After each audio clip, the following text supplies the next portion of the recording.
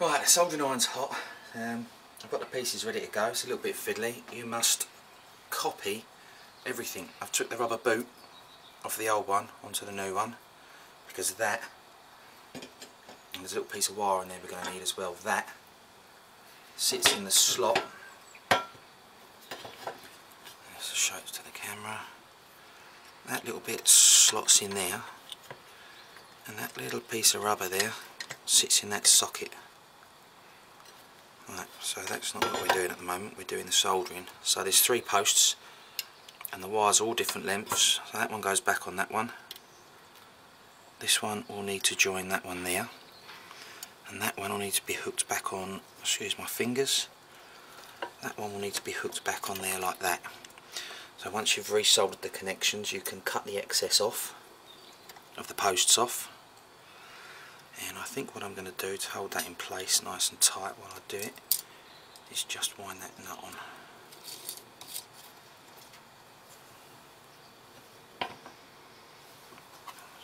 Cheap, nip it up the pliers. Right, okay, so let's see if we can get them stuck.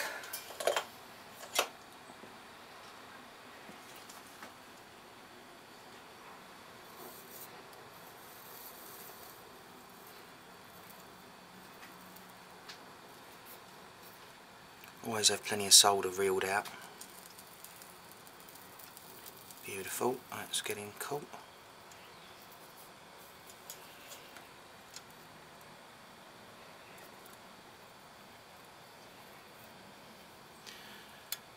Make sure you don't drop any solder down into your windings, so probably a better idea to have the alternator at least level so any blobs that fall off you can pick off. Right, let's just position just position that a bit better. Pinch it back up, get that one soldered on. Got a little bit of flux down here. Not always essential, but sometimes it makes things uh, go better. That's it, job done. Last connection. See if we can persuade that to stay close. Lovely. Bit more flux. Of course, amazing the difference that makes. Just goes straight on.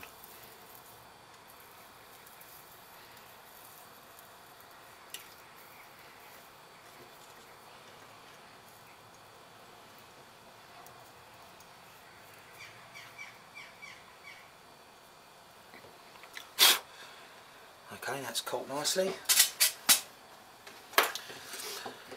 Right, so we may have to reposition them and tidy them up when they're um, a bit cooler, snip the excess bits off. Like that. Once again, make sure none of it goes into your uh, windings. We'll keep that one, yeah it's cool already. That one nice and flat. okay. Give the bolts a quick whiz up on the wheel. Put some goggles on.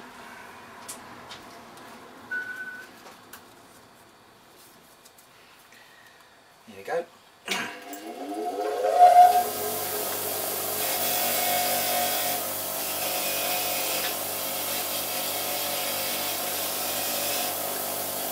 Clean the thread out as well.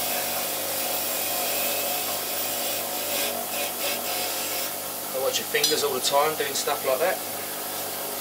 And eyes, I'm still looking over it.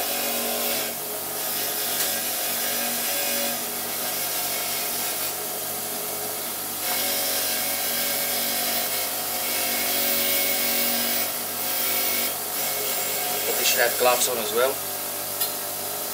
Be a good idea. There you go.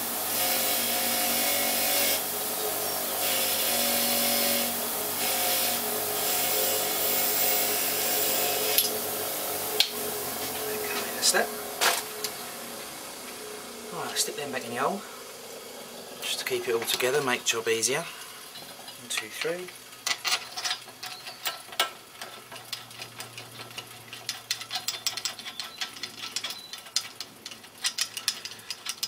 So when we do the next alternator, I will shorten the details ever so slightly so you don't have to watch me wind bolts in for this demonstration it's all useful.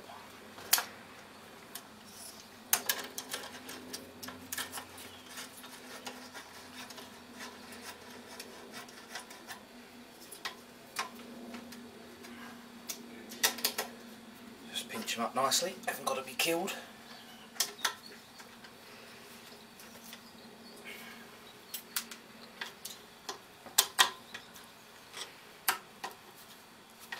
Okay, that's that. Right, we're getting close now. One, two, three, four, six, right, next pieces. Now, this. That is a surge diode. Um, the auto electrical supplier said they never get asked for them, so we're going to leave that one on. There are the brushes, and there are the new ones. So, right, I've unwound the screws. They're still in place so you can see the details of it coming apart. Little screw there can stay with that one. You've got to remember the position of where they go back in. So there's the little semicircular bit that goes over the rubber base. So we put that down like that. That screw goes in top left, my top left. That one. And that one that little bracket that fell off goes there. This side. There's one of the brushes. One of the old ones. And there's one of the new ones. Brush is not particularly worn on that one. And once again it's not something you have to replace every time you do a, an every time your alternator fails but for 60 pence it's not worth messing around with. So that's that. That's that. Pull the other one out Right, give that a quick squirt with the carburetor cleaner, wash the rest of it out.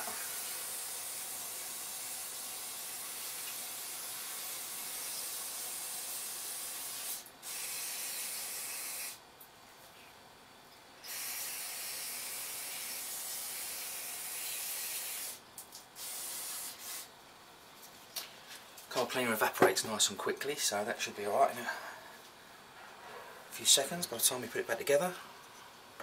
So, that's that.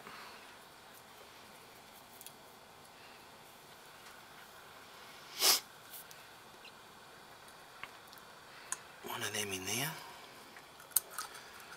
Push the string spring down the hole. That one goes there. That one goes there.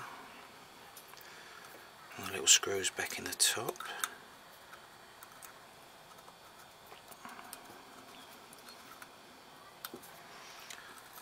Okay, that one done. I wind them up with the uh, needle nose pliers off of camera.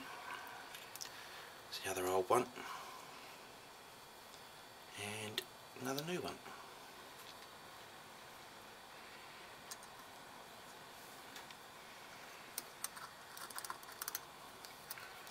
Down there like that.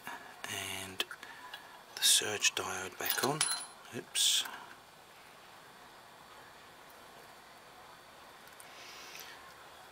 Goes there, and that one goes there.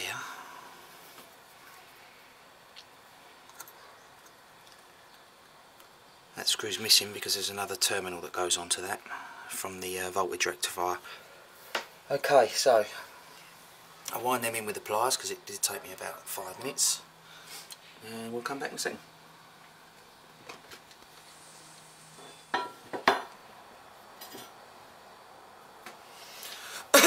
right.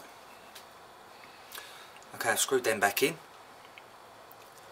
And there's the new brushes underneath. A relatively clean cap.